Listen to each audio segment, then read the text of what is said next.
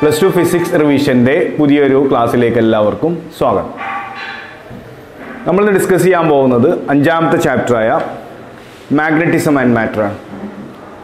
അപ്പോൾ കഴിഞ്ഞ നാല് ചാപ്റ്ററുകൾ നമ്മൾ രണ്ട് വീഡിയോകളിലായിട്ട് റിവിഷൻ കംപ്ലീറ്റ് ചെയ്തിരുന്നു. അതുപോലെ ഇന്ന് നമ്മൾ അഞ്ചാമത്തെ ചാപ്റ്ററിന്റെ രണ്ടാമത്തെ വീഡിയോ ആണ് ചെയ്യുന്നത്.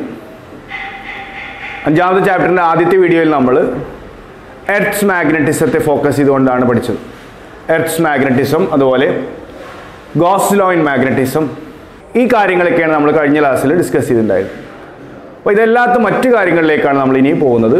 പ്രത്യേകിച്ച് magnetic properties of materials hysteresis അതുപോലെ ഇൻട്രൊഡക്ഷൻ ആയിട്ട് വരുന്ന മാഗ്നറ്റിക് പ്രോപ്പർട്ടീസ് ബാർ മാഗ്നറ്റിന്റെ പ്രോപ്പർട്ടീസ് ഓക്കെ ബാർ മാഗ്നറ്റിന്റെ മാഗ്നറ്റിക് ഫീൽഡ് ഇത്തരം കാര്യങ്ങളൊക്കെയാണ് നമ്മൾ ഇന്നത്തെ ക്ലാസ്സിൽ ഡിസ്കസ് ചെയ്യാൻ പോകുന്നത്. ഒന്നാമത്തെ ടോപ്പിക്കിലേക്ക് പോവാം. ഫസ്റ്റ് ഇൻട്രൊഡക്ഷൻ ആയിട്ട് പറയുന്ന ചില കാര്യങ്ങളാണ്. നമ്മൾ കഴിഞ്ഞ ക്ലാസ്സിൽ എടുത്തിരുന്നില്ല. എന്തായിരുന്നു? Earth behaves as a bar magnet ഈ ചാപ്റ്ററിന്റെ ആദ്യത്തിൽ പറയുന്ന ഒരു കോൺസെപ്റ്റ് കോൺസെപ്റ്റാണത് എർത്ത് ഒരു ബാർ മാഗ്നറ്റ് ആയിട്ട് ആക്ട് ചെയ്യുന്നു. നമുക്കറിയാം ഒരു ബാർ മാഗ്നറ്റ് ആകുമ്പോൾ അതിനൊരു നോർത്ത് പോൾ ഉണ്ടായിരിക്കും ഒരു സൗത്ത് പോൾ ഉണ്ടായിരിക്കും. ഇതുപോലെ ഒരു നോർത്ത് പോളും സൗത്ത് പോളും ഉള്ള ഒരു ബാർ മാഗ്നറ്റിന് ഇക്വലന്റ് ആണ് എർത്ത് എന്നുള്ളതാണ് ആദ്യമായിട്ട് ഈ ചാപ്റ്ററിൽ നമ്മൾ പഠിച്ചത്. ഓക്കെ അപ്പോൾ നമുക്കറിയാം അതിൽ ഒരു നോർത്ത് പോൾ ഉണ്ട് സൗത്ത് പോൾ ഉണ്ട്. ജോഗ്രഫിക് നോർത്ത് പോളിന്റെയും സൗത്ത് പോളിന്റെ അടുത്തായിട്ടാണ് ഈ മാഗ്നറ്റിക് നോർത്ത് പോളും സൗത്ത് പോളും ഉള്ളത്. ഡീറ്റെയിൽ ആയിട്ട് നമ്മൾ പഠിച്ചാണ് എന്തായാലും ഫസ്റ്റ് പോയിന്റ് ആയിട്ട് നമ്മൾ പഠിച്ചു വെക്കാം. Earth behaves as a bar magnet with magnetic north pole and magnetic south pole രണ്ടാമത്തെ ഒരു ഇമ്പോർട്ടന്റ് ക്വസ്റ്റ്യൻ എക്സാമിന് പലപ്പോഴും ചോദിക്കാനുള്ള ക്വസ്റ്റ്യൻ ആണ് directional property of a bar magnet എന്താണ് ബാർ മാഗ്നറ്റിന്റെ ഡയറക്ഷണൽ പ്രോപ്പർട്ടി എന്ന് പറഞ്ഞാൽ? നമുക്കറിയാം ഒരു ബാർ മാഗ്നറ്റ് ഫ്രീ ആയിട്ട് സസ്പെൻഡ് ചെയ്ത് കഴിഞ്ഞാൽ അത് എർത്തിന്റെ നോർത്ത് സൗത്ത് ഡയറക്ഷനിലേക്ക് വന്ന് അലൈൻ ചെയ്യും. എന്ന് പറഞ്ഞാൽ നമുക്ക് ദിശ കാണാൻ വേണ്ടി ആ മെത്തേഡ് യൂസ് ചെയ്യാം. എവിടെയാണ് നോർത്ത് എവിടെയാണ് സൗത്ത് തിരിച്ചറിയാൻ വേണ്ടി നമ്മൾ അത് യൂസ് ചെയ്യാറുണ്ട്. അതിനെയാണ് നമ്മൾ ബാർ മാഗ്നറ്റിന്റെ ഡയറക്ഷണൽ പ്രോപ്പർട്ടി എന്ന് പറയാറ്. ഇപ്പം നമുക്ക് എക്സാം ചോദിക്കാറുണ്ട്. വാട്ട് ഇസ് ദ അല്ലെങ്കിൽ what is mean by the directional property of bar magnet simply നമുക്ക് എന്ത് പറയാം? A freely suspended bar magnet align in north south direction a freely suspended bar magnet align in north south direction this property of bar magnet is known as directional property clear ആണല്ലോ? അപ്പോൾ അത് പഠിച്ചു വെക്കുക then അടുത്തൊരു property നമുക്കറിയാം. നമ്മൾ ഇലക്ട്രിസിറ്റിയിലൊക്കെ പഠിച്ച അതേപോലെ എന്താണ്? Like poles repel like poles attracts each other discuss ചെയ്യേണ്ട ആവശ്യമില്ല. നമുക്ക് ആൾറെഡി അറിയുന്നതാണ്. അപ്പോൾ നമുക്ക് ബാർ മാഗ്നറ്റിന്റെ പ്രോപ്പർട്ടീസ് എഴുതാൻ വന്നാൽ രണ്ട് മൂന്ന് പോയിന്റ്സ് കിട്ടാൻ വേണ്ടിയിട്ടാണ് അങ്ങനെ തന്നെ എഴുതിയിട്ടുള്ളത്. ദെൻ മറ്റൊന്ന് നോക്കൂ. Magnetic monopole do not exist മാഗ്നറ്റിസവും ഇലക്ട്രിസിറ്റിയും തമ്മിലുള്ള പ്രധാനപ്പെട്ട വ്യത്യാസമായിട്ട് നമ്മൾ കണ്ടത് ഇലക്ട്രിസിറ്റിയിൽ പോസിറ്റീവ് പോൾ നെഗറ്റീവ് പോൾ അങ്ങനെ വ്യത്യസ്തമായിട്ട് തന്നെ രണ്ട് പോളുകളുണ്ട് എന്നാൽ മാഗ്നറ്റ്സിൽ എന്തില്ല? ഒരു പോൾ മാത്രമില്ല. എവിടേക്ക് നോർത്ത് പോൾ ഉണ്ടോ അവിടേക്ക് കൂടെ എന്തുണ്ടാവും സൗത്ത് പോൾ അപ്പോൾ നോർത്ത് പോൾ മാത്രമുള്ള ഒരു മാഗ്നറ്റോ സൗത്ത് പോൾ മാത്രമുള്ള ഒരു മാഗ്നറ്റോ ഇല്ല. That means there is no single pole existence in magnetism okay അതാണ് അടുത്ത പോയിന്റ് ആയിട്ട്. അപ്പോൾ നമുക്കതിൽ ചോദിക്കാവുന്ന ഒരു ക്വസ്റ്റ്യൻ ഡയറക്ഷണൽ പ്രോപ്പർട്ടി എന്താണെന്ന് ചോദിക്കാം. അല്ലെങ്കിൽ ബാർ മാഗ്നറ്റ്സിന്റെ പ്രോപ്പർട്ടി ചോദിച്ചാൽ നമുക്കിതിൽ രണ്ടു മൂന്നെണ്ണം എന്ത് ചെയ്യാൻ പറ്റും? എഴുതാൻ സാധിക്കും. അപ്പോൾ ആ രീതിയിൽ അത് പഠിച്ചു വെക്കാം. ഓക്കെ ദെൻ മറ്റൊന്ന് മാഗ്നറ്റിക് ഫീൽഡ് ലൈൻസ് ആണ്. അത് ക്വസ്റ്റ്യൻ വരാറുണ്ട്. മാഗ്നറ്റിക് ഫീൽഡ് ലൈൻസ് എന്താണ്? എന്താണ് അതിന്റെ പ്രോപ്പർട്ടീസ് എന്തിന് സിമിലർ ആണ് നമുക്കറിയാം. ഇലക്ട്രിക് ഫീൽഡ് ലൈൻസിന്റെ സിമിലർ ആണ്. അതിന്റെ പ്രോപ്പർട്ടീസും അതിന് സിമിലർ ആണ്. ചില വ്യത്യാസങ്ങളൊക്കെ ഉണ്ട്. ഓക്കെ അപ്പോൾ സിംപിളി നമുക്ക് എന്താണ് മാഗ്നറ്റിക് ഫീൽഡ് ലൈൻസ് വെച്ച് എന്ത് എഴുതാം the imaginary lines around a magnet which indicates the magnitude and direction of magnetic field ഒരു ബാർ മാഗ്നറ്റിന് ചുറ്റുഭാഗത്തുള്ള മാഗ്നറ്റിക് ഫീൽഡിനെ ഇൻഡിക്കേറ്റ് ചെയ്യാൻ വേണ്ടി അതിന്റെ മാഗ്നിറ്റ്യൂഡ് എവിടെയാണ് കൂടുതൽ എവിടെയാണ് കുറവ് അതിന്റെ ദിശ എങ്ങോട്ടാണ് എന്നൊക്കെ കാണിക്കുന്ന ഇമാജിനറി ലൈൻസിനെയാണ് നമ്മൾ എന്ത് വിളിച്ചിട്ടുണ്ടായിരുന്നത്? ഫീൽഡ് ലൈൻസ് അല്ലെങ്കിൽ മാഗ്നറ്റിക് ഫീൽഡ് ലൈൻസ് അപ്പോൾ എന്താണ് മാഗ്നറ്റിക് ഫീൽഡ് ലൈൻസ് എന്ന് വെച്ചാൽ ഏറ്റവും സിമ്പിൾ ആയിട്ട് നമുക്കത് എഴുതാം. എന്താണ്? The imaginary lines around a magnet which indicates the magnitude and direction of magnetic field clear ആണല്ലോ? ഇനി പ്രോപ്പർട്ടീസ് ചോദിക്കാം. പ്രോപ്പർട്ടീസിൽ നമുക്കറിയാം. എന്താണ് ഒന്ന്? The start from north pole and end to south pole നോർത്തിൽ നിന്ന് സൗത്തിലേക്കാണ് നമ്മൾ ഇതിന്റെ ഡയറക്ഷൻ പറയാറ്. മറ്റൊന്ന് പറയാറ് ദേ ആർ ക്ലോസ് ലൂപ്സ് അല്ലേ? ആ പ്രോപ്പർട്ടി അവിടെ ഇല്ല ഇലക്ട്രിക് ഫീൽഡ് ലൈൻസിൽ ഇല്ല മാഗ്നറ്റിക് ഫീൽഡ് ലൈൻസിന്റെ പ്രത്യേകത they are close loops close loops ആയിരിക്കും എന്നുള്ളതാണ് രണ്ടാമത്തെ ഒരു പ്രോപ്പർട്ടി ആയിട്ട് നമ്മൾ പഠിച്ചു വെച്ചിട്ടുണ്ടായിരുന്നു ദെൻ മറ്റൊന്ന് the closeness of field lines gives the strength of magnetic field എവിടെയാണോ ഫീൽഡ് ലൈൻസ് അടുത്തടുത്ത് വരുന്നത് ആ ഭാഗത്ത് ഫീൽഡ് സ്ട്രോങ് ആയിരിക്കും. ഇലക്ട്രിസിറ്റിയിൽ പറഞ്ഞ അതേ കോൺസെപ്റ്റ് തന്നെയാണ് നമുക്കറിയാം. അപ്പോൾ the closeness of magnetic field lines gives the strength of the magnetic field മറ്റു നമുക്കറിയാം the tangent drawn at any point gives the direction of magnetic field at that point field ലൈനിന്റെ എവിടെയെങ്കിലും നമ്മളൊരു ടാൻജന്റ് വരച്ചു കഴിഞ്ഞാൽ ആ ടാൻജന്റിന്റെ ദിശയിലായിരിക്കും ആ പോയിന്റിൽ മാഗ്നറ്റിക് ഫീൽഡിന്റെ ദിശ. ഓക്കെ അപ്പോൾ മാഗ്നറ്റിക് ഫീൽഡിന്റെ ദിശ കാണാൻ അതിലൂടെ പാസ് ചെയ്യുന്ന ഒരു പോയിന്റിലൂടെ പാസ് ചെയ്യുന്ന ഫീൽഡ് ലൈനിന്റെ ടാൻജന്റ് വരച്ചു നോക്കിയാൽ മതി. ഇപ്പൊ നമ്മൾ ഓൾറെഡി പഠിച്ചതായത് കൊണ്ടാണ് ഇങ്ങനെ പറഞ്ഞു പോകുന്നത്. അപ്പോൾ ശ്രദ്ധിക്കുക. Tangent drawn at any point gives the direction of magnetic field at that point okay അപ്പം അത്തരം കാര്യങ്ങളൊക്കെ നമുക്ക് എഴുതാം. ദെൻ നമ്മൾ സാധാരണ പറയാനുള്ള മറ്റൊന്നാണിത് for a uniform magnetic field the field lines are parallel and equidistant അത് വേണമെങ്കിൽ എഴുതാം. യൂണിഫോം മാഗ്നറ്റിക് ഫീൽഡ് ഉള്ള സ്ഥലമാണെങ്കിൽ അവിടെ ഫീൽഡ് ലൈൻസ് എങ്ങനെയായിരിക്കും? പാരലായിരിക്കും ഈക്വൽ ഡിസ്റ്റൻസിലായിരിക്കും കാരണം ഡിസ്റ്റൻസ് കൂടെ കുറേ ചെയ്താൽ അവിടെ സ്ട്രെങ്ത് മാറും നമുക്കറിയാം. അപ്പോൾ ഇത്തരത്തിലുള്ള ഒരു നാലോ അഞ്ചോ പ്രോപ്പർട്ടീസ് കൂടെ എന്താണ് മാഗ്നറ്റിക് ഫീൽഡ് ലൈൻസ് കൂടി പഠിച്ചു വെക്കുക. അപ്പോൾ നമ്മൾ പറഞ്ഞ എന്തൊക്കെയായിരുന്നു? ഒന്ന് ഡയറക്ഷണൽ പ്രോപ്പർട്ടി ചോദിക്കാം. ബാർ മാഗ്നറ്റിന്റെ പ്രോപ്പർട്ടീസ് ചോദിക്കാം. അതിൽ നമ്മൾ രണ്ട് മൂന്ന് പോയിന്റ് പറഞ്ഞു. ദെൻ എന്താണ് മാഗ്നറ്റിക് ഫീൽഡ് ലൈൻസ് അതുപോലെ മാഗ്നറ്റിക് ഫീൽഡ് ലൈൻസിന്റെ പ്രോപ്പർട്ടീസ് എന്തൊക്കെയാണ്? ഈ നാലോ അഞ്ചോ ക്വസ്റ്റ്യൻ കൃത്യമായിട്ട് നമ്മൾ എന്ത് ചെയ്യണം? ഈ ഭാഗത്ത് നിന്ന് പഠിച്ചു വെക്കണം. അതുപോലെ നോക്കൂ നമുക്ക് ഈ ചാപ്റ്ററിൽ നിന്ന് വരാവുന്ന ഒരു ഡെറിവേഷൻ എന്ന രീതിയിൽ അല്ലെ? രണ്ടോ മൂന്നോ ഡെറിവേഷൻസ് വരുന്നുണ്ട് അല്ല നമ്മൾ ഇന്നാണ് പഠിക്കുന്നത്. കഴിഞ്ഞ ക്ലാസ്സിൽ അത്തരം ടോപ്പിക്കുകൾ നമ്മൾ ഡിസ്കസ് ചെയ്തിട്ടില്ല. അപ്പൊ അതിലൊരു ഡെറിവേഷനാണ് bar magnet as an equivalent solenoid ഒരു ബാർ മാഗ്നറ്റും സോളിനോയിഡും ഇക്വലന്റ് ആണെന്ന് പ്രൂവ് ചെയ്യാം. നമ്മളെങ്ങനെ പഠിച്ചിട്ടുണ്ടായിരുന്നു? മാത്തമാറ്റിക്കലി നമുക്ക് എങ്ങനെ പ്രൂവ് ചെയ്യാം എക്സ്പെരിമെന്റിൽ നമുക്കറിയാം. ഒരു ബാർ മാഗ്നറ്റ് എടുത്ത് അതിന്റെ ഫീൽഡിനെ സ്റ്റഡി ചെയ്തു. അതുപോലെ ഒരു സോളിനോയിഡ്. സോളിനോയിഡ് നമുക്കറിയാം. കറണ്ട് ക്യാരിങ് ആയിട്ടുള്ള ഒരു കോയിലാണെന്ത് സോളിനോയിഡ്. സോളിനോയിഡിലൂടെ കറണ്ട് കടത്തി വിട്ടാൽ അതിന് ചുറ്റുഭാഗത്തുണ്ടാകുന്ന ഫീൽഡ് നമ്മൾ സ്റ്റഡി ചെയ്യുമ്പോഴും രണ്ടും ഈക്വൽ ആണ്. ബാർ മാഗ്നറ്റിന്റെ ഫീൽഡും അതുപോലെ സോളിനോയിഡിന്റെ ഫീൽഡും എക്സ്പെരിമെന്റിൽ നമ്മൾ ചെയ്തു നോക്കുമ്പോൾ ഈക്വലന്റ് ആണ്. അത് നമുക്ക് മാത്തമാറ്റിക്കലി എങ്ങനെ ചെയ്യാം എന്നാണ് നമ്മൾ പഠിച്ചിട്ടുണ്ടായിരുന്നു എങ്ങനെ നോക്കൂ ഒരു സോളിനോയിഡ് നമ്മൾ എടുത്തു. അതിലൂടെ ഐ കറണ്ട് എന്ത് ചെയ്യുന്നു? ഫ്ലോ ചെയ്യുന്നു. അപ്പോൾ ഒരു സോളിനോയിഡ് അതിലൂടെ കറണ്ട് ഫ്ലോ ചെയ്യുന്ന എത്രയാണ്? ഐ ആ സോളിനോയിഡിന്റെ ആക്സിസ് നമ്മൾ എടുത്തു. നമുക്ക് ആക്സിസും പെർപെൻഡിക്കുലർ ബൈസെക്ടർ ഒക്കെ എടുക്കാറുണ്ടല്ലോ. അപ്പോൾ ആക്സിയ ലൈനിൽ ഒരു പോയിന്റ് ആണ് പി ഈ പിയിലെ മാഗ്നറ്റിക് ഫീൽഡാണ് നമ്മൾ കണ്ടിരുന്നത്. അപ്പോൾ പിയിലെ മാഗ്നറ്റിക് ഫീൽഡ് കാണണമെങ്കിൽ പിയിലേക്കുള്ള ദൂരം അറിയണം. എവിടെ നിന്ന് ഈ സോളിനോയിഡിന്റെ സെന്ററിൽ നിന്ന് അപ്പോൾ ഒരു സോളിനോയിഡ് എന്ന് പറയുമ്പോൾ ഒരു ബാർ മാഗ്നറ്റിക് കിലോനാണ് അതുകൊണ്ട് തന്നെ സെന്ററിൽ നിന്നാണ് എടുക്കാൻ. അപ്പോൾ സോളിനോയിഡിന്റെ സെന്ററിൽ നിന്ന് ഫീൽഡ് കാണേണ്ട പോയിന്റായ പിയിലേക്കുള്ള ദൂരമാണ് എന്ത്? ആർ ഇനി നമുക്കറിയാവുന്ന ഇക്വേഷൻ നമ്മൾ ഫോർത്ത് ചാപ്റ്ററിൽ പഠിച്ച ഇക്വേഷൻ എന്താണ്? ഒരു സർക്കുലാർ കോയിലിന്റെ ആക്സിസിലെ ഫീൽഡ് കാണുന്ന ഇക്വേഷൻ നമുക്കറിയാം. എന്താണ്? B equal to mu zero N I A square by two into A square plus X square whole raise to three by two ഓർക്കുന്നുണ്ടാവും നിങ്ങൾ അല്ലേ? നമ്മൾ ബയോട്ട് അപ്ലിക്കേഷൻ ആയിട്ട് പഠിച്ചതാണ്. Magnetic field along the axis of a circular current carrying coil അതാണ് നമ്മൾ കയ്യിൽ already ഉള്ള equation അങ്ങനെയുള്ള കുറേ കറണ്ട് ക്യാരിങ് കോയിലുകൾ ചേർന്നതാണെന്ത്? സോളിനോയിഡ് അപ്പോൾ അതിൽ ചെറിയൊരു സെഗ്മെന്റ് നമ്മൾ കൺസിഡർ ചെയ്യാം. ഈ സോളിനോയിഡിലെ ചെറിയൊരു സെഗ്മെന്റ് ആ സെഗ്മെന്റിന്റെ വിടുത്ത് എത്രയാണ്? ഡി എക്സ് ഓക്കെ ആ സെഗ്മെന്റ് സെൻട്രലിൽ നിന്ന് എത്ര ദൂരത്താണ്? എക്സ് ദൂരത്ത്. അപ്പോൾ ഈ സോളിനോയിഡിന്റെ സെൻട്രലിൽ നിന്ന് എക്സ് ദൂരം മാറി ഡി എക്സ് തിക്നെസ് ഉള്ള ഒരു സെഗ്മെന്റ് നമ്മൾ എന്ത് ചെയ്യുന്നു? കൺസിഡർ ചെയ്യുന്നു. അപ്പോൾ സ്വാഭാവികമായിട്ട് ഈ സെഗ്മെന്റിൽ നിന്ന് പിയിലേക്ക് എത്ര ദൂരം ഉണ്ടാവുക? ആർ മൈനസ് എക്സ് അല്ലെ? സെൻട്രലിൽ നിന്ന് ഇങ്ങോട്ട് എത്ര ആയിരുന്നു? അവിടെ നിന്ന് ഇങ്ങോട്ട് എക്സ് മൈനസ് ചെയ്താൽ ബാക്കി ദൂരം എത്രയാ?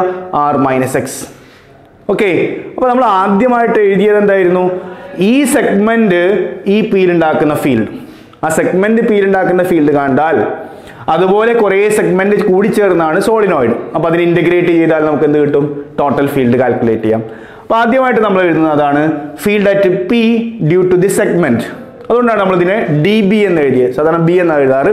ഇവിടെ ഡി ബി എന്ന് എഴുതാൻ കാരണം നമുക്ക് കംപ്ലീറ്റ് ഫീൽഡായ ബി കാണാനുണ്ട്. അതുകൊണ്ട് ഈ സെഗ്മെന്റ് ഉണ്ടാക്കിയ ഫീൽഡിന് നമ്മൾ എന്ത് എഴുതി? ഡി ബി സാധാരണ സെഗ്മെന്റിന് നമ്മൾ ബി എന്ന് എഴുതാറ്. ഓക്കെ അപ്പോൾ ഡി ബി ഈക്വൽ ടു നമ്മൾ നേരത്തെ പറഞ്ഞ ഇക്വേഷൻ ശ്രദ്ധിച്ചു നോക്കൂ. Mu zero N I A square by two into അല്ലേ? ആർ സ്ക്വയർ എന്ന് പറയാറുണ്ട് നോക്കൂ. അല്ലെങ്കിൽ എക്സ് സ്ക്വയർ എന്ന് പറയാറുണ്ട്. അതെന്താണ്? സെഗ്മെന്റിൽ നിന്ന് ഇങ്ങോട്ടുള്ള ദൂരമാണ് സെഗ്മെന്റിൽ നിന്ന് ഇങ്ങോട്ടുള്ള ദൂരം എത്രയപ്പോ നമ്മൾ കൺസിഡർ ചെയ്തിട്ടുള്ളത് ആർ മൈനസ് എക്സ് അപ്പോൾ ആ ദൂരം എടുക്കുന്നു ഇവിടെ ആർ മൈനസ് എക്സ് എ എന്താണ്? എ എന്ന് പറയുന്നത് ഈ സർക്കിളിന്റെ റേഡിയസ് ആണ്. ആ കോയിലിന്റെ റേഡിയസ് ആണ്. ഇവിടെ നമ്മൾ അതിനെ എടുക്കുന്നു. ആ കോയിലിലേക്ക് ഒരേ റേഡിയസ് ആണ്. റേഡിയസ് എ എന്ന് എടുക്കുന്നു. Whole raise to three by two ഇവിടെ ഒരു വ്യത്യാസം mu zero N I A square ഉണ്ടാവാറുള്ളൂ. ഇവിടെ ഡി എക്സ് കൂടി എക്സ്ട്രാ എഴുതിയിട്ടുണ്ട്. എന്താ നോക്കൂ നമ്മൾ അവിടെ എഴുതാറുള്ള എൻ എന്ന് പറയുന്നത് ആ സർക്കുലാർ കോയിലിലെ നമ്പർ ഓഫ് ടേൺസ് ആണ് അല്ലേ? എത്ര ടേൺസ് ഉണ്ട് എന്നുള്ളതാണ്. ഇവിടെ നമ്മൾ എടുത്തിട്ടുള്ളത് സ്മോളിന് നമുക്ക് പരിചയമുണ്ട്. എന്താണ്? യൂണിറ്റ് ലെങ്ത്തിൽ എത്ര ടേൺസ് ഉണ്ടെന്നാണ് number of turns per unit length അപ്പോൾ ഈ സോളിനോയിഡിലെ യൂണിറ്റ് ലെങ്ത്തിൽ സ്മോളൻ നമ്പർ ഓഫ് ടേൺസ് ഉണ്ടെങ്കിൽ ഇവിടെ എത്ര തിക്നെസ്സിൽ നമ്മൾ എടുത്തുള്ളത് ഡി എക്സ് അപ്പോൾ യൂണിറ്റ് ലെങ്ത്തിൽ എത്ര ഉണ്ട്? സ്മോൾ എൻ അങ്ങനെയാണെങ്കിൽ ഡി എക്സ് ലെങ്ത്തിൽ എത്ര ഉണ്ടായിരിക്കും? എൻ ഇന്റു ഡി എക്സ് അപ്പോൾ ഡി എക്സ് ലെങ്ത്തിൽ എത്ര ടേൺസ് ഉണ്ട് എന്നുള്ളതിന് answer ആണെന്ത്? N into D X okay അപ്പോൾ വൺ മീറ്ററിൽ എത്ര ഉണ്ടോ? അപ്പോൾ ടു മീറ്ററിലാവുമ്പോൾ ടു ഇന്റു അത് ചെയ്യേണ്ടി വരും അല്ലേ? വൺ മീറ്ററിലുള്ളതാണെന്ത് എൻ ടു മീറ്ററിലാവുമ്പോൾ ടു ഇന്റു എൻ ത്രീ മീറ്ററിലാവുമ്പോൾ ത്രീ ഇന്റു എൻ അങ്ങനെയാണെങ്കിൽ ഡി എക്സ് മീറ്റർ എത്രയായിരിക്കും? D X into N simply അത്ര മനസ്സിലാക്കുക? അപ്പോൾ അവിടെ എന്നിന് പകരം എഴുതിയിട്ടുണ്ട്? Small N into D X അപ്പോൾ സ്മോൾ എൻ എന്താണ്? Number of turns per unit length D X എന്താണ്?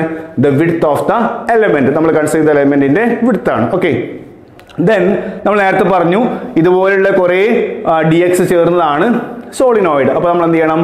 ഒരു എൻഡ് മുതൽ അടുത്ത എൻഡ് വരെ എന്ത് ചെയ്യണം? ഇന്റഗ്രേറ്റ് ചെയ്യണം. അപ്പോൾ ഇന്റഗ്രേറ്റ് ചെയ്യുമ്പോൾ നോക്കൂ ഇതിൽ mu zero N I A square എന്താണ്? കോൺസ്റ്റന്റ് ആണ്. ഇവിടെ നമ്മളൊരു അപ്രോക്സിമേഷൻ സാധാരണ നടത്താറുണ്ട് അല്ലേ? നമ്മൾ ഡീറ്റെയിൽ ആയിട്ട് പറഞ്ഞത് എ എന്ന് പറയുന്നത് ആറുമായി കമ്പയർ ചെയ്യുമ്പോൾ വെരി വെരി സ്മോൾ ആണ്. ഓക്കെ എ എന്താണ്? ഇതിന്റെ റേഡിയസ് ആണ്. അത് ഈ ആറുമായി കമ്പയർ ചെയ്യുമ്പോൾ വെരി സ്മോൾ ആണ്. അതുപോലെ എക്സ് എന്ന് പറയുന്നത് ഇത് വളരെ ചെറുതാണ്. അപ്പോൾ എക്സും ഒക്കെ നമുക്ക് എന്ത് ചെയ്യാം? നെഗ്ലക്റ്റ് ചെയ്യാം. എക്സിനെയും എയിനെയൊക്കെ നെഗ്ലക്റ്റ് ചെയ്താൽ ബാക്കി എന്താ അവിടെ? ആർ റേസ് ടു അല്ലെങ്കിൽ R square whole raise to three by two R സ്ക്വയറിന് whole raise to three by two ചെയ്താൽ എന്ത് ചെയ്യും? ടു ടു ക്യാൻസൽ ചെയ്താൽ എന്ത് കിട്ടും? ആർ ക്യൂബ് അപ്പോൾ ഇവിടെ നോക്കൂ. ടു ഇന്റു ആർ ക്യൂബ് ഇവിടെ എഴുതിയിട്ടുള്ളൂ? അല്ലേ? Two into B equal to എന്താണ് ഇവിടെ? ഡിനോമിനേറ്ററിൽ two into R cube R cube എന്ന് വന്നത് ബാക്കി എക്സിനെയും എയും നമ്മൾ എന്ത് ചെയ്യാണ്? നെഗ്ലക്റ്റ് ചെയ്താണ്. അപ്പോൾ നമ്മൾ വിശദമായിട്ട് ക്ലാസ് എടുത്തപ്പോൾ പറഞ്ഞതാണ്. ഓക്കെ മുകളിൽ എന്തൊക്കെയാണ് mu zero is there N I A square പിന്നെ എന്താണ് ഡി എക്സ് ഡി എക്സിനെയാണ് നമ്മൾ നീണ്ട് ഇന്റഗ്രേറ്റ് ചെയ്യേണ്ടത്. കാരണം അത് മാത്രമാണ് അവിടെ വാരിയബിൾ ഉള്ളത് അല്ലേ? ബാക്കിയുള്ളതൊക്കെ എന്താണ്? ബാക്കിയുള്ളതൊക്കെ കോൺസ്റ്റൻസ് ആണ്. അപ്പോൾ എവിടെ മുതൽ എവിടെ വരെ ഇന്റഗ്രേറ്റ് ചെയ്യണം?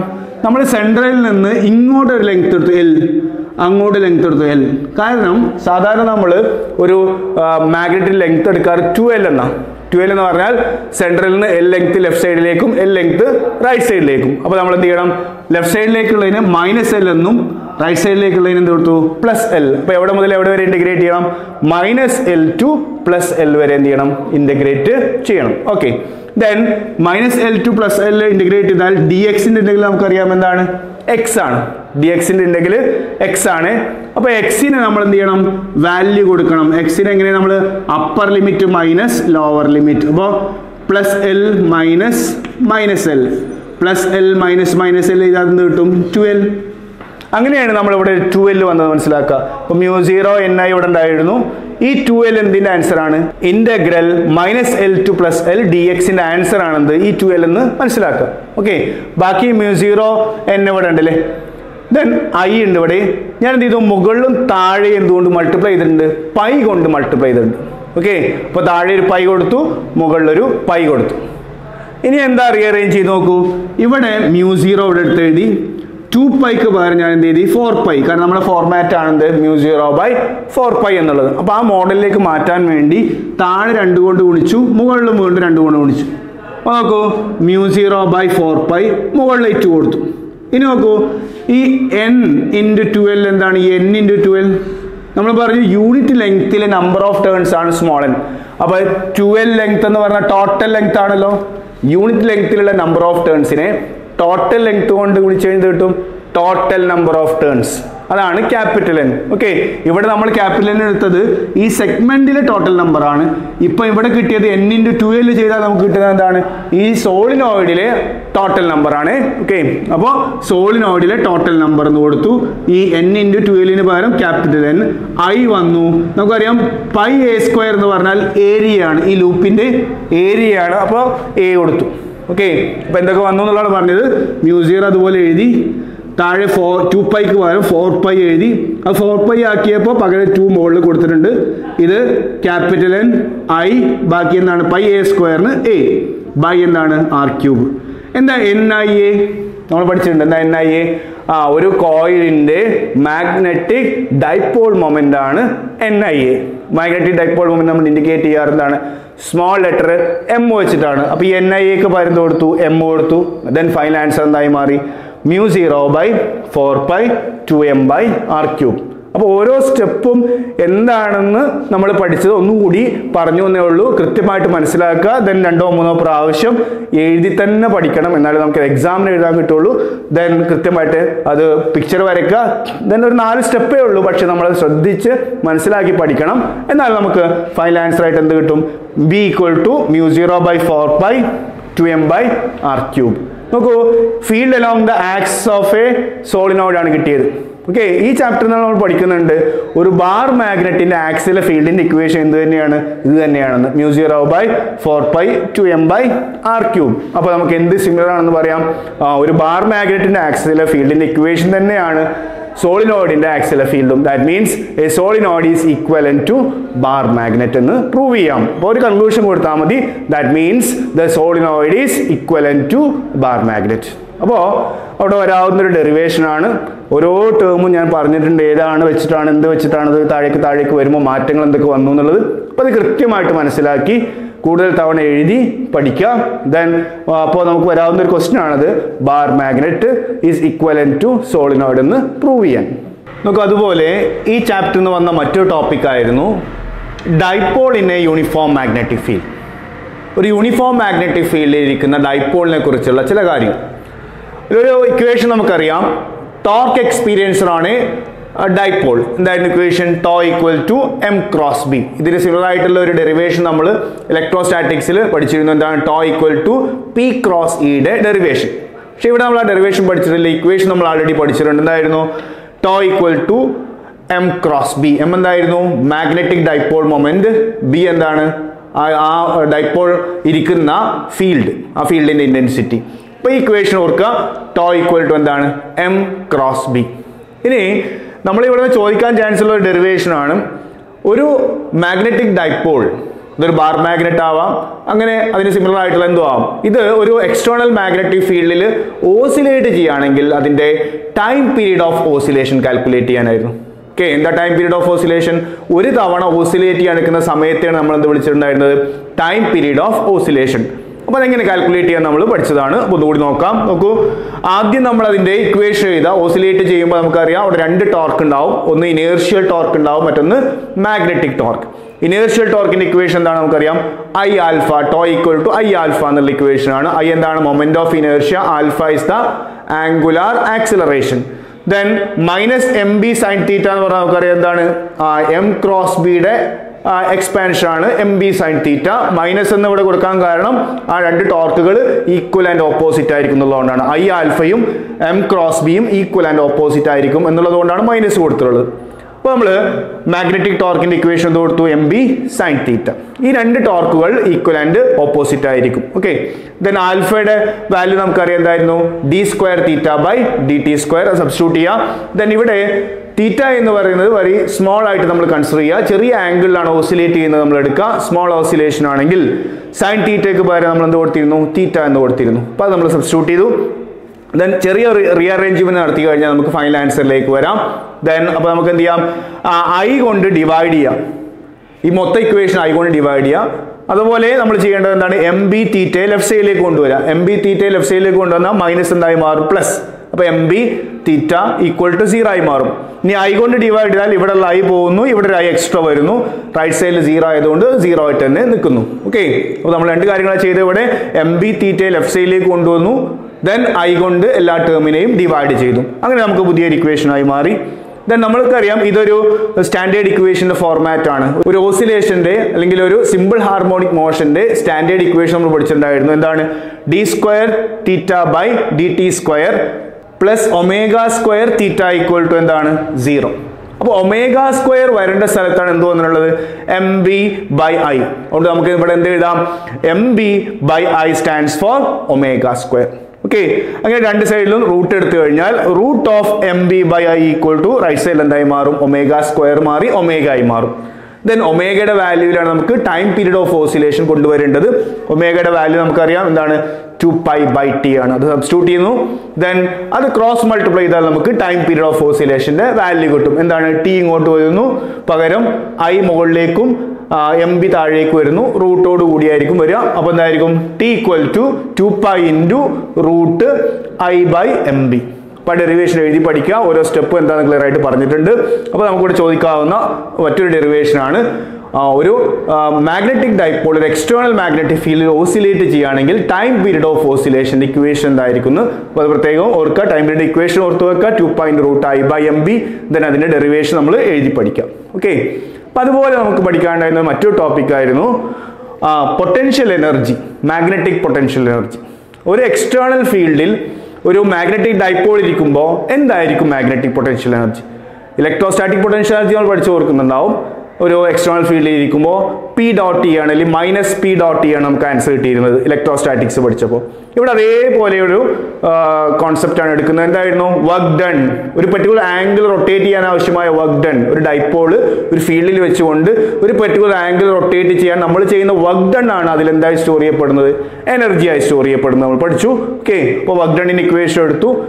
റൊട്ടേഷൻ ആയതുകൊണ്ട് തന്നെ നമ്മൾ എന്തെടുക്കാം ടോ ഡി തീറ്റ എടുക്കാം. ടോട്ടൽ വർക്ക് ഡൺ ആവുമ്പോൾ ഇന്റഗ്രേറ്റ് ചെയ്യണം. അപ്പം work done equal to integral tau D theta ടോർക്കിന് equation നമ്മൾ നേരത്തെ പഠിച്ചു. എന്താണ്? M cross B that is M B sine theta into D theta ഈ ഡി തീറ്റ ഇവിടെ വരും.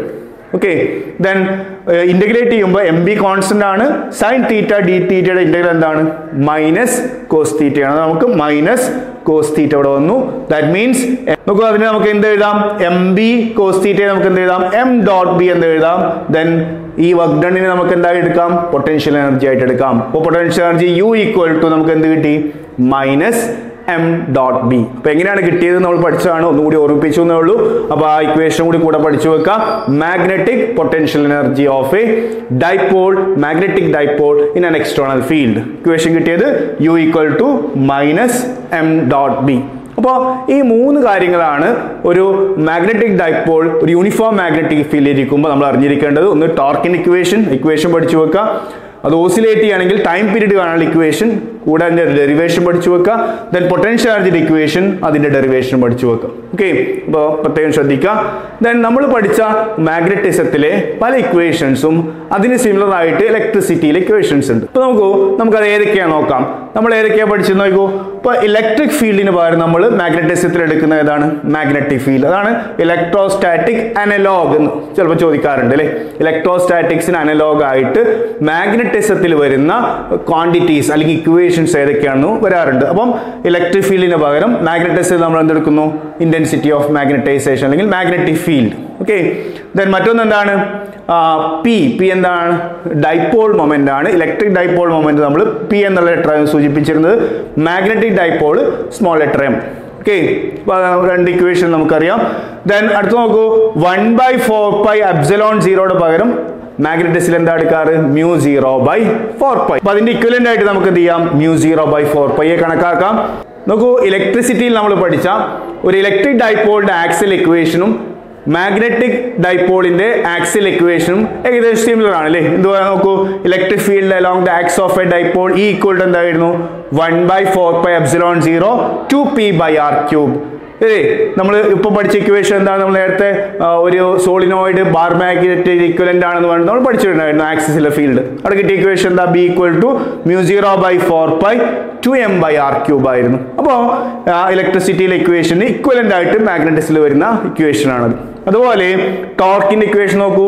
ഇലക്ട്രിസിറ്റി നമ്മൾ പഠിച്ചത് പി ക്രോസ് സി ആയിരുന്നു. മാഗ്നറ്റിക്സിൽ പഠിച്ചെന്തായിരുന്നു M cross B okay then last നമ്മൾ പഠിച്ച potential energy electrostatic potential equation എന്തായിരുന്നു?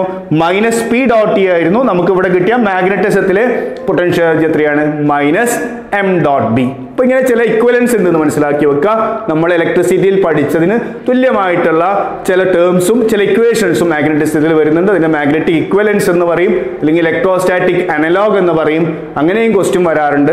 അപ്പൊ അതൊന്ന് ഓർത്ത് വെക്കുക. നമുക്ക് അറിയുന്നതാണ്. ജസ്റ്റ് ഒന്ന് പറഞ്ഞു വെച്ച് കഴിഞ്ഞാൽ നമുക്ക് എക്സാമിന് വന്നു കഴിഞ്ഞാൽ ഈസി ആയിട്ട് എന്ത് ചെയ്യാൻ പറ്റും എഴുതാൻ സാധിക്കും. നമുക്ക് അതുപോലെ ഈ ചാപ്റ്ററിൽ നിന്ന് ഇമ്പോർട്ടന്റ് ആയി വരുന്ന മറ്റൊരു ടോപ്പിക്കാണ് മാഗ്നറ്റിക് പ്രോപ്പർട്ടീസ് ഓഫ് മെറ്റീരിയൽസ് നമ്മൾ പഠിച്ചിട്ടുണ്ടായിരുന്നു മാഗ്നറ്റിക് മെറ്റീരിയൽസിനെ മൂന്നായിട്ട് ക്ലാസിഫൈ ചെയ്യാം. പ്രധാനമായിട്ടും ഏതൊക്കെയാണ്?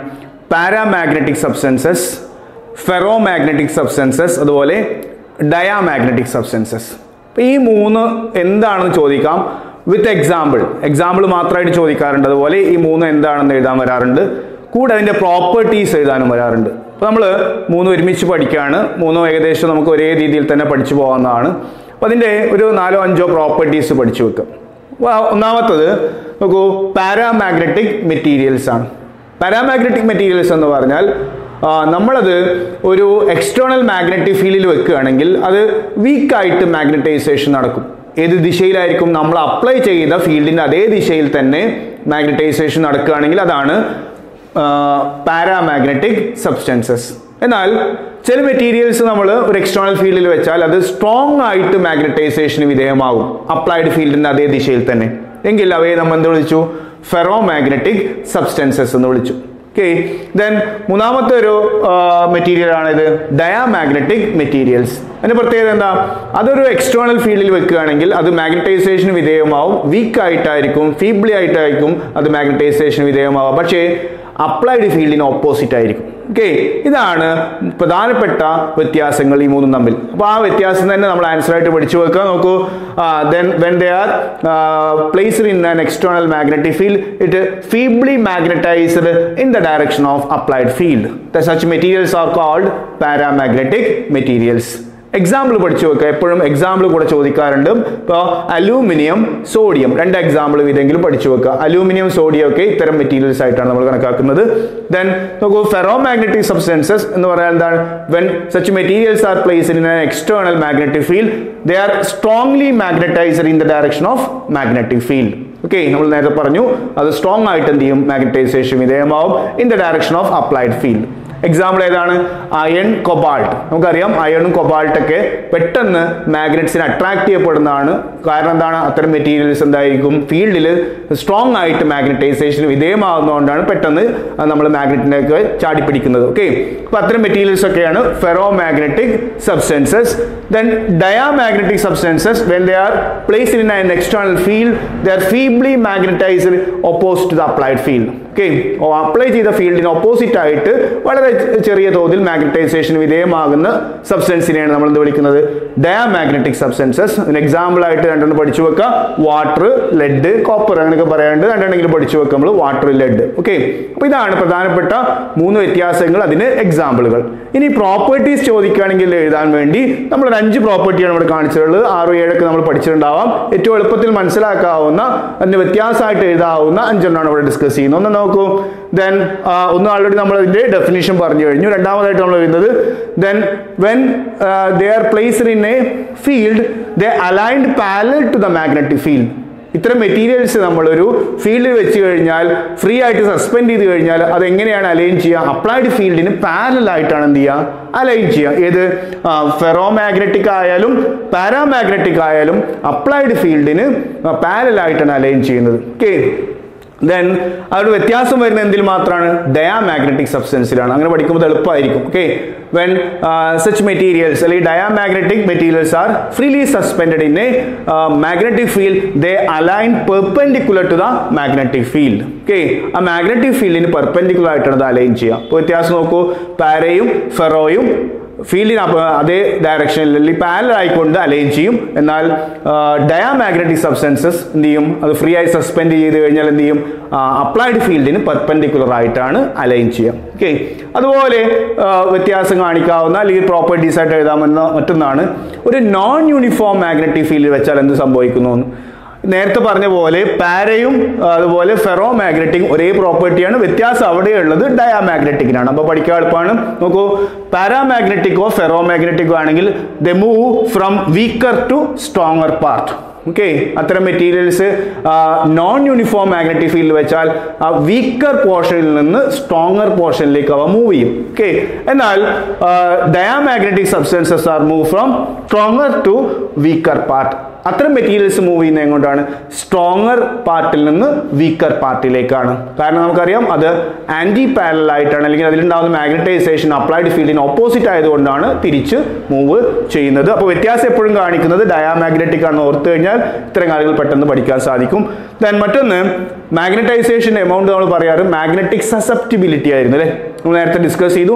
ഇത്തരം മാഗ്നറ്റിക് സസെപ്റ്റിബിലിറ്റി മൂന്നിന് നോക്കുകയാണെങ്കിൽ നോക്കൂ. Magnetic susceptibility small and positive in the case of paramagnetic substances large and positive in the case of ferromagnetic substances small and negative in the case of diamagnetic അപ്പോൾ diamagnetic ആണെങ്കിലും paramagnetic ആണെങ്കിലും small magnetisation കാണിക്കുന്നതാണ്. അതുകൊണ്ട് രണ്ടും small ആയിരിക്കും പക്ഷേ paramagnetic positive ആയിരിക്കും diamagnetic എന്തായിരിക്കും? നെഗറ്റീവ് കാരണം ഓപ്പോസിറ്റ് ആയിട്ടാണ് മാഗ്നറ്റൈസേഷൻ സംഭവിക്കുന്നത് പറഞ്ഞു സ്ട്രോങ് ആയിട്ടുള്ള മാഗ്നറ്റിക് സബ്സ്റ്റൻസുകളാണ് നമ്മൾ എന്ത് വിളിച്ചിട്ടുണ്ടായിരുന്നത്? ഫെറോ മാഗ്നറ്റിക് സബ്സ്റ്റൻസുകൾ എന്ന് വിളിച്ചിട്ടുണ്ടായിരുന്നത്. അതുകൊണ്ട് തന്നെ അതിന്റെ സസെപ്റ്റിബിലിറ്റി എന്തായിരിക്കും? ലാർജ് ആൻഡ് പോസിറ്റീവ് ആയിരിക്കും. ഈ രീതിയിൽ അതിനെ നമുക്ക് എന്ത് ചെയ്യാം? ക്ലാസിഫൈ ചെയ്യാം. മറ്റൊന്ന് വ്യത്യാസം പലപ്പോഴും എക്സാം ചോദിച്ചിട്ടുള്ളത് ഒരു എക്സ്റ്റേണൽ ഫീൽഡിൽ വെച്ച് കഴിഞ്ഞാൽ ഫീൽഡ് ലൈൻസ് എപ്പോഴും മെറ്റീരിയലിന്റെ ഉള്ളിലൂടെ പോകാൻ ശ്രമിക്കും. എവിടേക്കാ പാരാമാഗ്നറ്റിക്കിലും ഫെറോ മാഗ്നറ്റിക്കിലും എന്നാൽ ഒരു ഡയാമാഗ്നറ്റിക് സബ്സ്റ്റൻസ് ആണ് ഒരു ഫീൽഡിൽ വെച്ചിട്ടുണ്ടെങ്കിൽ ഫീൽഡ് ലൈൻസ് എപ്പോഴും ആ മെറ്റീരിയലിന്റെ പുറമേ കൂടെ എന്ത് ചെയ്യും? പോകാൻ ശ്രമിക്കും. ആ ഉള്ളിലൂടെ പോകേണ്ട ഫീൽഡ് പോലും പുറന്തള്ളപ്പെടും ആ പുറന്തള്ളപ്പെടുന്ന പ്രോസസ്സിനെ നമുക്ക് എന്ത് വിളിക്കാമെന്ന് പറഞ്ഞിരുന്നു? മീസ്നർ എഫക്റ്റ് എന്ന് വിളിക്കാം. നമുക്ക് പിന്നെ ഡിസ്കസ് ചെയ്യാം. ഓക്കെ അപ്പൊ എന്തായാലും ഈ പിക്ചർ വച്ച് തന്നെ എക്സാമിന് ക്വസ്റ്റ്യൻ ചോദിക്കാറുണ്ട്. ഇങ്ങനെ പിക്ചർ തന്നിട്ട് അത് എത്ര ഏത് തരത്തിലുള്ള മെറ്റീരിയൽസ് ആണെന്ന് ചോദിച്ചിട്ട് എക്സാമിന് പലതവണ വന്നിട്ടുണ്ട് പബ്ലിക് എക്സാമിന് അപ്പൊ ആ രീതിയിൽ അത് മനസ്സിലാക്കി വെക്കാം. അപ്പൊ എന്താണ് പാരാമാഗ്നറ്റിക് സബ്സ്റ്റൻസ് എന്താണ് ഫെറോ ഫെറോമാഗ്നറ്റിക് സബ്സ്റ്റൻസ് എന്താണ് ഡയാമാഗ്നറ്റിക് സബ്സ്റ്റൻസ് അത് പഠിച്ചു വെക്കുക വിത്ത് എക്സാമ്പിൾ ദെൻ ഈ പ്രോപ്പർട്ടീസും നമ്മൾ പഠിച്ചു വെക്കുക അപ്പം അവിടുന്ന് കൂടുതൽ മാർക്കിന് ക്വസ്റ്റ്യൻ ചോദിക്കാവുന്ന ഒരു ഭാഗമാണിത് മാഗ്നറ്റിക് പ്രോപ്പർട്ടീസ് ഓഫ് മെറ്റീരിയൽസ് നോക്കൂ നമ്മളിപ്പം ഡിസ്കസ് ചെയ്തത് മാഗ്നറ്റിക് മെറ്റീരിയൽസിന്റെ പ്രോപ്പർട്ടീസ് ആയിരുന്നു. അതിനെങ്ങനെ ക്ലാസിഫൈ ചെയ്യാം? അതിനെങ്ങനെ നമുക്ക് എന്ത് ചെയ്യാം? പ്രോപ്പർട്ടീസ് എഴുതാന്നൊക്കെ ആയിരുന്നു. അപ്പോൾ അതുമായി റിലേറ്റ് ചെയ്യുന്ന മറ്റ് ചില ടോപ്പിക്കുകളാണ് നോക്കൂ ഒരു ലോ ആണ് ക്യൂറീസ് ലോ നമ്മൾ പഠിച്ചാണ്. എന്താ ക്യൂറീസ് ലോ പറയുന്നത്? ആ ഒരു മെറ്റീരിയലിന് ടെമ്പറേച്ചറും അതിന്റെ സസെപ്റ്റിബിലിറ്റിയും തമ്മിലുള്ള ബന്ധമാണ് ക്യൂറീസ് ലോ എന്താ പറയുന്നത്? Susceptibility is inversely proportional to absolute temperature okay ഇപ്പൊ ക്യൂറിയസ് ലോ ചോദിച്ചാൽ അതായത് വേണ്ടത് the susceptibility is inversely proportional to temperature ഇത്ര എഴുതിയാൽ മതി. ഓക്കെ എന്താ സസെപ്റ്റിബിലിറ്റി എക്സ്റ്റേണൽ ഫീൽഡ് അപ്ലൈ ചെയ്ത് കഴിഞ്ഞാൽ ഒരു മെറ്റീരിയൽ എന്തുമാത്രം മാഗ്നറ്റൈസ് ചെയ്യപ്പെടാനുള്ള കഴിവുണ്ട്. അതാണെന്ത്? സസെപ്റ്റിബിലിറ്റി ഓക്കെ ആ സസെപ്റ്റിബിലിറ്റി ആ മെറ്റീരിയലിന്റെ ടെമ്പറേച്ചറുമായി ബന്ധമുണ്ടെന്നും ടെമ്പറേച്ചർ കൂടുന്തോറും മെറ്റീരിയൽസിന്റെ എന്ത് കുറയുന്നു എന്നാണ്? സസെപ്റ്റിബിലിറ്റി കുറയുന്നു എന്നാണ്. ഓക്കെ അതാണ് ക്യൂറീസ് ലോ പറയുന്നത്. ചോദിക്കാൻ ചാൻസ് ഉള്ള ക്വസ്റ്റ്യൻ ആണ്. അപ്പോൾ എന്താണല്ലോ? According to this law the susceptibility of a magnetic material is inversely proportional to absolute temperature okay ഒരു ഇക്വേഷൻ ആക്കി എഴുതണമെങ്കിൽ നമുക്ക് ഇങ്ങനെ എഴുതാം. Chi equal to C into mu zero by T നമുക്കറിയാം മ്യൂ സീറോ കോൺസ്റ്റന്റ് ആണ്. സി മറ്റൊരു constant ആണ് അത് നമ്മൾ ക്യൂറി കോൺസ്റ്റന്റ് എന്നാണ് പറയാം. ഓക്കെ അപ്പൊ അതൊന്ന് ശ്രദ്ധിക്കാം. ദെൻ അതുപോലെ നമുക്ക് ചോദിക്കാവുന്ന അതുമായി ബന്ധപ്പെട്ട ഒരു ക്വസ്റ്റ്യൻ ആയിരുന്നു എന്ത്? ക്രിട്ടിക്കൽ ടെമ്പറേച്ചർ ഓക്കെ നമുക്കറിയാം പാരാമാഗ്നറ്റിക്കും അതുപോലെ ഫെറോ മാഗ്നറ്റിക്കും എടുക്കുമ്പോൾ പാരാമാഗ്നറ്റിക്കിന് സസെപ്റ്റബിലിറ്റി കുറവാണ്. ഫെറോ മാഗ്നറ്റിക്സിന് സസെപ്റ്റബിലിറ്റി കൂടുതലാണ്. രണ്ടും പോസിറ്റീവാണ് എന്നാൽ നോക്കൂ ടെമ്പറേച്ചർ ഉയരുന്തോറും എന്ത് ചെയ്യും? സസെപ്റ്റബിലിറ്റി കുറയും. അങ്ങനെയാണെങ്കിൽ ഒരു പെർട്ടിക്കുലർ ടെമ്പറേച്ചർ കഴിഞ്ഞാൽ ഒരു ഫെറോ മാഗ്നറ്റിക് സബ്സ്റ്റൻസ് എന്താവാനുള്ള സാധ്യതയുണ്ട്? സസെപ്റ്റബിലിറ്റി കുറഞ്ഞു വന്നാൽ അത് പാരാമാഗ്നറ്റിക് ആവാനുള്ള സാധ്യതയുണ്ട്. That particular temperature is called critical temperature അപ്പോൾ ക്രിട്ടിക്കൽ ടെമ്പറേച്ചർ വെച്ചാൽ നമുക്ക് എന്ത് എഴുതാം? The temperature at which a ferromagnetic substance becomes paramagnetic substance is called critical temperature okay മറ്റൊരു ആൻസർ ആയിട്ട് പഠിച്ചു വെക്കേണ്ട ആൻസർ ആണ്. What is critical temperature okay the temperature at which a ferromagnetic substance becomes paramagnetic substance okay then അതുപോലെ നമുക്ക് ചോദിക്കാവുന്ന മറ്റൊരു question ആണ്. Meissner effect നമ്മൾ നേരത്തെ ഡിസ്കസ് ചെയ്തു. എന്താണ്?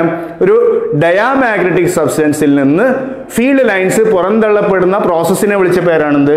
Meissner effect expulsion of field lines from a diamagnetic substance is called Meissner effect. അല്ലെങ്കിൽ ഒരു സൂപ്പർ കണ്ടക്ടർ ഉണ്ടാക്കാൻ ഉപയോഗിക്കുന്ന മെറ്റീരിയൽസ് ഏതാണെന്ന് ചോദിക്കാറുണ്ട് പലപ്പോഴും. ഏതാണ്? ഡയാമാഗ്നറ്റിക് സബ്സ്റ്റൻസുകളാണ് എന്തിനു വേണ്ടി നമ്മൾ ചൂസ് ചെയ്യാറ്?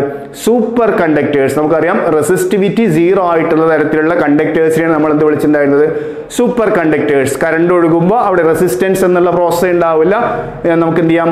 പവർ ലോസ് ഇല്ലാതെ മാക്സിമം കറണ്ട് ഫ്ലോ ചെയ്യിക്കാൻ കഴിയുന്ന അത്തരം മെറ്റീരിയൽസിനെ നമ്മൾ സൂപ്പർ കണ്ടക്ടേഴ്സ് എന്ന് വിളിച്ചിട്ടുണ്ടായിരുന്നത്. അപ്പോൾ ഈ ചാപ്റ്ററിൽ നിന്ന് ചോദിക്കാവുന്ന ഒരു ക്വസ്റ്റൻ ആണ് സൂപ്പർ കണ്ടക്ടേഴ്സ് ഉണ്ടാക്കാൻ ഉപയോഗിക്കുന്ന മെറ്റീരിയൽസ് ഏതാണ്? ഏതാണ്?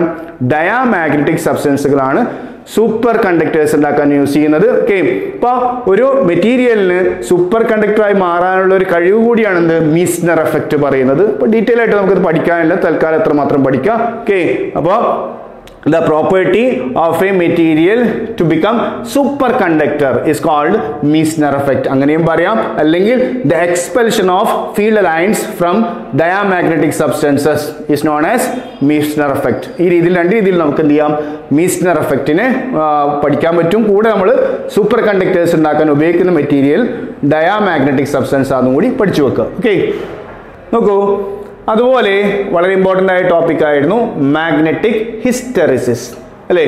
അപ്പോൾ അതിൽ നിന്ന് വ്യത്യസ്തമായിട്ട് ടോപ്പിക് ആയിരുന്നു. നമ്മൾ ഡീറ്റെയിൽ ആയിട്ട് പഠിച്ചാണ് ചാപ്റ്റർ എടുത്തപ്പോൾ പ്രൊവിഷണൽ രീതിയിൽ വളരെ ഷോർട്ടായിട്ട് ഞാൻ പറയാം. ഒരു മെറ്റീരിയലിന് മാഗ്നറ്റൈസേഷനും ഡീമാഗ്നറ്റൈസേഷനും വിധേയമാകുമ്പോൾ അതിലുണ്ടാവുന്ന മാഗ്നറ്റിക് ഫീൽഡും അതിലേക്ക് അപ്ലൈ ചെയ്യുന്ന മാഗ്നറ്റൈസിങ് ഫീൽഡും തമ്മിലുള്ള ബന്ധമാണ് അവിടെ പറയുന്നത്. മാഗ്നറ്റൈസിങ് ഫീൽഡും മാഗ്നറ്റൈക് ഫീൽഡും തമ്മിൽ എന്തുണ്ട്? ഒരു ലാഗിങ് വരുന്നുണ്ട്. ഒന്ന് ഇൻക്രീസ് ചെയ്യുമ്പോൾ മറ്റൊന്ന് ഇൻക്രീസ് ചെയ്യും അല്ലേ? നമ്മൾ മാഗ്നറ്റൈസിങ് ഫീൽഡിനെ എച്ച് ഒന്നും അതുവഴി മെറ്റീരിയൽ ഉണ്ടാകുന്ന മാഗ്നറ്റിക് ഫീൽഡിനെ ബി എന്നും കാണിക്കുകയാണെങ്കിൽ ആ എച്ചും ബിക്ക് ഇടയിൽ ഒരു ലാഗിങ് വരുന്നുണ്ട്. ആ ലാഗിങ് വരുന്ന പ്രോസസ്സിനെ വിളിച്ച പേരായിരുന്നു എന്ത്? മാഗ്നറ്റിക് ഹിസ്റ്ററിസിസ് തൽക്കാലം ആൻസർ പഠിച്ചു വെക്കുക. എന്താണ്? The lagging of B behind H at the time of magnetization and demagnetization is called magnetic hysteresis clear ആണല്ലോ? അപ്പോൾ ആൻസർ പഠിച്ചു വെക്കുക at the time of magnetization and demagnetization of a material the lagging of magnetic field behind the magnetizing field in the specimen is called magnetic hysteresis okay അത് clear ആയിട്ട് process നമ്മൾ explain ചെയ്താണ്. അപ്പോൾ നമ്മൾ answer മാത്രം പഠിച്ചു വെക്കുക okay ആ ലാഗിങ്ങിനെ ബിയും എച്ചും തമ്മിൽ വരുന്ന ലാഗിങ്ങിനെ വിളിച്ച പേരാണെന്ത്? മാഗ്നറ്റിക് ഹിസ്റ്ററിസിസ് ബിയും എച്ചും തമ്മിലുള്ള ലാഗിനെ കാണിക്കുന്ന ഈ ഗ്രാഫിനെ നമ്മൾ എന്ത് വിളിച്ചു? ആ ഹിസ്റ്ററിസിസ് ലൂപ്പ് പലപ്പോഴും എക്സാമിന് ഹിസ്റ്ററിസ് എന്താ ചോദിച്ചിട്ടുണ്ട്. അതുപോലെ ഹിസ്റ്ററിസിസ് ലൂപ്പ് വരയ്ക്കാൻ ചോദിച്ചിട്ടുണ്ട്. അല്ലെങ്കിൽ ഈ ലൂപ്പ് നമുക്ക് തന്നിട്ട് ഇത് എന്തിന്റെ ലൂപ്പാണെന്നും ഇതിനെ എക്സ്പ്ലെയിൻ ചെയ്യാനും ചോദിച്ചിട്ടുണ്ട്. ഓക്കെ അപ്പോൾ അതൊക്കെ എങ്ങനെയാണെന്ന് നമുക്ക് നോക്കാം. അപ്പോൾ ഹിസ്റ്ററിസ് എന്താ നമ്മൾ പഠിച്ചു? Lagging of magnetic field behind the magnetizing field is known as hysteresis clear ആണല്ലോ? ദെൻ ലൂപ്പ് വരയ്ക്കാൻ പറഞ്ഞാൽ ഈ ലൂപ്പാണ് നമ്മൾക്ക് കണ്ട് പരിചയമുള്ള ഒരു ലൂപ്പാണ് നോക്കൂ ആദ്യം എച്ച് കൂടുന്നതനുസരിച്ച് ബി കൂടി വരും. ദെൻ എച്ച് സീറോ ആക്കിയാൽ തിരിച്ച് നമ്മൾ അപ്ലൈ ചെയ്ത ഫീൽഡിന്റെ വാല്യൂ സീറോ ആക്കിയാലും കുറച്ച് മാഗ്നറ്റിക് ഫീൽഡിൽ ബാക്കി നിൽക്കും. ഓക്കെ അപ്പം ബിയും എച്ചും തമ്മിൽ ലാഗിങ് വന്നല്ലോ. അങ്ങനെ എച്ച് സീറോ ആയിട്ടും ആ സ്പെസിമെനിൽ ബാക്കി നിൽക്കുന്ന ബി എ നമ്മൾ എന്ത് പേര് വിളിച്ചു? നോക്കൂ റിട്ടന്റിവിറ്റി ഓർ റെംനൻസ് അപ്പോൾ അതൊരു ആൻസർ ആണ്. നമുക്ക് എക്സാം ചോദിക്കാറുള്ള ആൻസർ ആണ്. What is mean by retentivity or remanence എന്താണ്? The value of magnetic field inside the specimen even when the magnetizing field is reduced to zero നമ്മൾ അപ്ലൈ ചെയ്ത ഫീൽഡ് സീറോ ആയിട്ടും ആക്കിയ സമയത്തും ആ സ്പെസിമെനിൽ കുറച്ച് മാഗ്നറ്റിക് ഫീൽഡ് ബാക്കിയായി. അതിന് നമ്മൾ വിളിച്ച പേരായിരുന്നു എന്ത്? റിറ്റന്റിവിറ്റി അല്ലെങ്കിൽ റെംനൻസ് ക്ലിയർ ആണല്ലോ? The value of magnetic field inside the specimen even when the magnetizing field is reduced to zero is called retentivity or remanence okay നമ്മൾ പഠിച്ചു. ആ ബാക്കി നിൽക്കുന്ന മാഗ്നറ്റിക് ഫീൽഡിനെ വീണ്ടും സീറോ ആക്കി മാറ്റാൻ നമ്മൾ റിവേഴ്സ് ആയിട്ട് വെച്ചു കൊടുക്കണം. അല്ലെങ്കിൽ ഓപ്പോസിറ്റ് ആയിട്ട് അതിനെ ഡീമാഗ്നറ്റൈസ് ചെയ്താലേ എന്ത് ചെയ്യുള്ളൂ? അതിലുള്ള മാഗ്നറ്റിക് ഫീൽഡ് വീണ്ടും സീറോ ആയി മാറുള്ളൂ. അപ്പൊ എത്ര എച്ച് കൊടുത്താലാണ് റിവേഴ്സ് ആയിട്ട് എത്ര എച്ച് കൊടുത്താലാണ് ഈ ബി സീറോ ആയി കിട്ടുക? ആ എച്ചിനെ വിളിച്ച പേരായിരുന്നു എന്ത്? കോഴ്സിവിറ്റി ക്ലിയർ അപ്പൊ അടുത്ത് ചോദിക്കാവുന്ന ക്വസ്റ്റ്യൻ ആണ്. What is mean by coercivity എന്താണ്? The value of reverse magnetizing field to reduce the magnetic field inside the specimen to zero okay ഉള്ളിലുള്ള ആ സ്പെസിമിനുള്ളിലുള്ള മാഗ്നറ്റിക് ഫീൽഡ് സീറോ ആയി മാറാൻ നമ്മൾ കൊടുക്കേണ്ട റിവേഴ്സ് മാഗ്നറ്റൈസിങ് ഫീൽഡിനെ വിളിച്ച പേരായിരുന്നു എന്ത്? Coercivity clear the value of reverse magnetizing field in order to reduce the magnetic field inside the specimen to zero is called coercivity okay അപ്പൊ ഇത്രയും കാര്യങ്ങൾ ഓർക്കുക. അപ്പൊ എന്താണ് മാഗ്നറ്റിക് ഹിസ്റ്ററിസിസ് ചോദിക്കാം? ഹിസ്റ്ററിസിസ് ലൂപ്പ് വരക്കാൻ ചോദിക്കാം.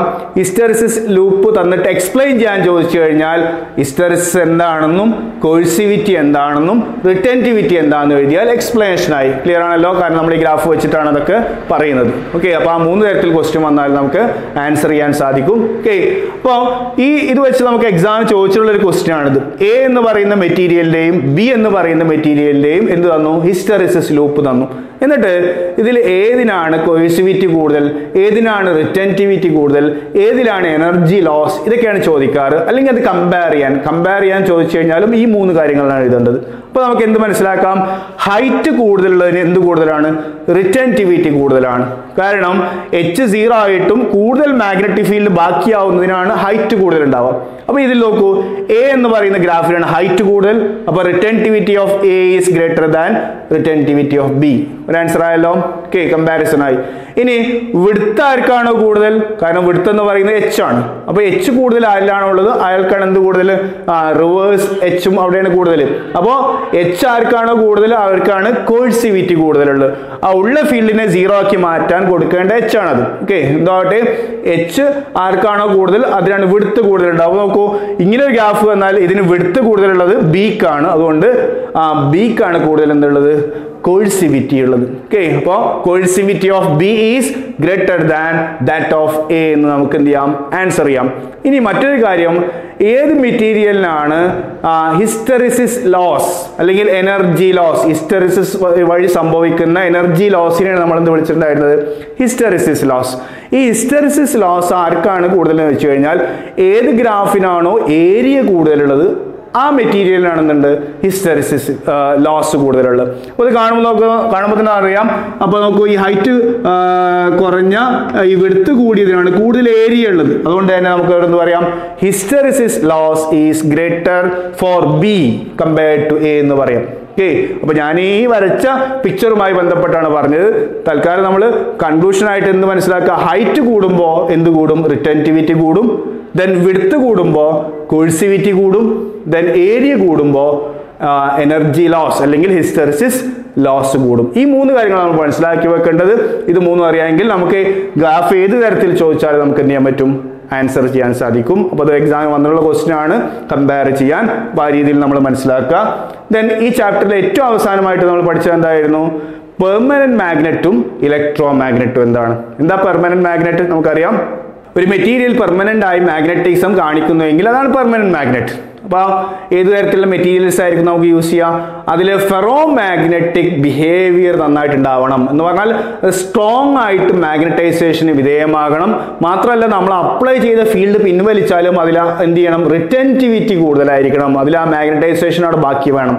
അത്തരത്തിലുള്ള മെറ്റീരിയൽസ് ആണ് എന്തിനു വേണ്ടി യൂസ് ചെയ്യാറ് നമ്മൾ പെർമനന്റ് മാഗ്നറ്റ്സ് അപ്പോൾ എന്താണ് പെർമനന്റ് മാഗ്നറ്റ്സ് എന്ന് വെച്ചാൽ നമ്മൾ എന്ത് എഴുതും?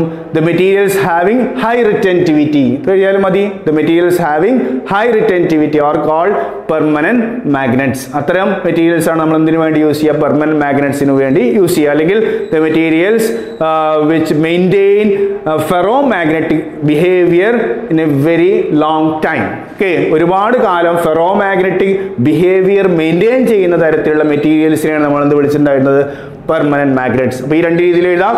നിങ്ങൾ റിട്ടന്റിവിറ്റി കൂടുതലുള്ള മെറ്റീരിയൽസ് ആണെന്ന് പറയാം. അല്ലെങ്കിൽ പെർമനന്റ് മാഗ്നറ്റ് ആവണമെങ്കിലുള്ള കണ്ടീഷൻ എന്താണ്? ഫെറോ മാഗ്നറ്റിക് ബിഹേവിയർ വളരെ കൂടുതലായിരിക്കണം എന്ന് എഴുതാം.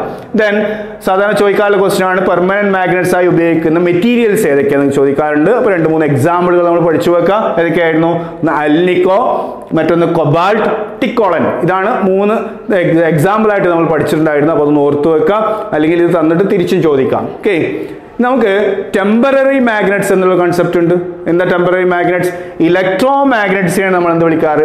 ടെമ്പററി മാഗ്നറ്റ്സ് നമുക്ക് ആവശ്യമുള്ളപ്പോൾ മാഗ്നറ്റായി യൂസ് ചെയ്യാം. അല്ലെങ്കിൽ അത് ഡിമാഗ്നറ്റൈസ് ചെയ്യാം. എന്താ ചെയ്യാറ്? ഇലക്ട്രോ മാഗ്നറ്റ്സ് ആണ് അത്തരം കാര്യങ്ങൾക്ക് വേണ്ടി നമ്മൾ യൂസ് ചെയ്യാറ്. അപ്പൊ എന്താണ് ഇലക്ട്രോ മാഗ്നറ്റ് ആ ഒരു കോറിന്റെ മുകളിൽ ഒരു സോളിനോയിഡ് അല്ലെങ്കിൽ കമ്പിച്ചുള്ളു വെച്ച് നമ്മൾ കറണ്ട് പാസ് ചെയ്ത് കഴിഞ്ഞാൽ എന്തായി മാറും? മാഗ്നറ്റായി മാറും. കറണ്ട് ഓഫ് ചെയ്യുന്നതോടുകൂടി എന്തായി? അത് ഡിമാഗ്നറ്റൈസ് ചെയ്ത് പഴയ പോലെ ആവും. ഇത്തരത്തിലുള്ള മാഗ്നറ്റ്സിനെയാണ് നമ്മൾ എന്ത് വിളിച്ചിട്ടുണ്ടായിരുന്നത്? ഇലക്ട്രോ മാഗ്നറ്റ്സ് ഓക്കെ ഇപ്പൊ ഇലക്ട്രോ മാഗ്നറ്റ്സ് ആയിട്ട് യൂസ് ചെയ്യുന്ന അല്ലെങ്കിൽ അതിന്റെ കോറായിട്ട് യൂസ് ചെയ്യുന്നത് എത്തരത്തിലുള്ള മെറ്റീരിയൽസ് ആണെന്ന് പബ്ലിക് എക്സാം ചോദിച്ചിരുന്നു. നമ്മൾ മനസ്സിലാക്കി വെക്കേണ്ടത് സോഫ്റ്റ് അയൺ ആണ് ഇത്തരം മെറ്റീരിയൽസ് അല്ലെങ്കിൽ ഇലക്ട്രോ മാഗ്നറ്റ്സിന്റെ കോറായിട്ട് യൂസ് ചെയ്യുന്നത്. ഇപ്പം electromagnets are the temporary magnets okay അപ്പൊ എന്താണ് ഇലക്ട്രോ മാഗ്നറ്റ് വെച്ചാൽ എന്താ എഴുതുന്നുണ്ട് ആ a solenoid with a core acts as a electromagnet എന്ന് എഴുതാം. ഒരു സോളിനോയിഡ് അതിനുള്ളിൽ കോർ കൂടി വെച്ച് കഴിഞ്ഞാൽ നമുക്ക് എന്ത് ചെയ്യാം? ഇത് ഇലക്ട്രോ മാഗ്നറ്റ് ആയിട്ട് യൂസ് ചെയ്യാം. കോറായിട്ട് യൂസ് ചെയ്യുന്നത് എത്തരത്തിലുള്ള മെറ്റീരിയൽസ് ആണ് ചോദിച്ചു കഴിഞ്ഞാൽ എഴുതേണ്ടത് സോഫ്റ്റ് അയൺ ആണ് സാധാരണ രീതിയിൽ നമ്മൾ മെറ്റീരിയൽ ആയിട്ട് യൂസ് ചെയ്യാറ്. അപ്പോൾ ഇതാണ് ലാസ്റ്റ് ടോപ്പിക് ഒന്ന് പെർമനന്റ് മാഗ്നറ്റ് വന്നിട്ടുള്ളത് ഇലക്ട്രോ മാഗ്നറ്റ് ഓക്കെ അപ്പോൾ ഈ ചാപ്റ്ററിനെ സംബന്ധിച്ചിടത്തോളം നമ്മൾ ഫസ്റ്റ് വീഡിയോയിൽ കുറച്ച് കാര്യങ്ങൾ ഡിസ്കസ് ചെയ്തു. ഏകദേശം അത്രയും ഭാഗങ്ങൾ രണ്ടാമത്തെ വീഡിയോയിലും ഉൾപ്പെടുത്തിയിട്ടുണ്ട്. അപ്പോൾ നന്നായിട്ട് പഠിക്കുക ഒക്കെ നമ്മൾ ഡീറ്റെയിൽ ആയിട്ട് എടുത്ത ഭാഗങ്ങളാണ് അതുകൊണ്ടാണ് സ്പീഡിൽ പറഞ്ഞു പോയത്. കൂടെ മനസ്സിലാക്കി പഠിക്കുക. നോട്ട് വെച്ച് കൃത്യമായിട്ട് പഠിക്കുക. അപ്പോൾ ഏറ്റവും സ്പീഡിൽ ഒന്ന് കേട്ടു പോകുക എന്നുള്ളതാണ് നമ്മൾ റിവിഷൻ കൊണ്ട് ഉദ്ദേശിക്കുന്നത്. അപ്പോൾ ഓരോ ടോപ്പിക്കും നമ്മൾ പറഞ്ഞിട്ടുണ്ട്. കൃത്യമായിട്ട് കൂടെ ഓരോ ടോപ്പിക്കും പഠിക്കുമ്പോൾ അതിന് കൂടെ എന്ത് ചെയ്യണം? അല്ലെങ്കിൽ കേൾക്കും അതിന്റെ കൂടെ ഓരോന്നും നമ്മൾ എഴുതാൻ രീതിയിൽ പഠിച്ചു വെക്കണം. കേട്ടിട്ട് അത് ഓർമ്മയുണ്ട്. ഓക്കെ എന്നുള്ള രീതിയിൽ വിടാതെ അതൊന്ന് പറഞ്ഞു നോക്കുക. ഡെറിവേഷൻ ആണെങ്കിൽ വീഡിയോ പോസ് ചെയ്ത് എന്ത് ചെയ്യണം? അതൊന്നോ രണ്ടോ തവണ എഴുതി നോക്കുക. ഇത്തരത്തിൽ പെട്ടെന്ന് പെട്ടെന്ന് പഠിച്ചു പോയി നമുക്ക് മാക്സിമം മാർക്ക് എക്സാമിന് വാങ്ങേണ്ടതുണ്ട്. നന്നായിട്ട് ട്രൈ ചെയ്യുക അപ്പം അടുത്ത ഒരു ക്ലാസ്സിൽ നമുക്ക് അടുത്തൊരു ചാപ്റ്റർ ഡിസ്കസ് ചെയ്യാം. Okay thank